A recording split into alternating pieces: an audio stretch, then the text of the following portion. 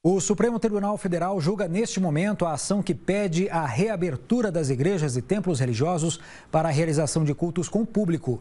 Ontem, o ministro Gilmar Mendes votou contra a permissão. Agora, há pouco, o ministro Nunes Marques votou a favor da liberação da presença do público em cerimônias religiosas. Com isso, o placar está em 1 a 1.